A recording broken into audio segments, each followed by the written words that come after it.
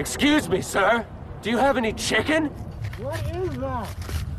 When the chickens started dying off, the government secretly revealed that they put chicken in everything, including our tap water. This guy is suffering from those side effects. Hey, chicken freak!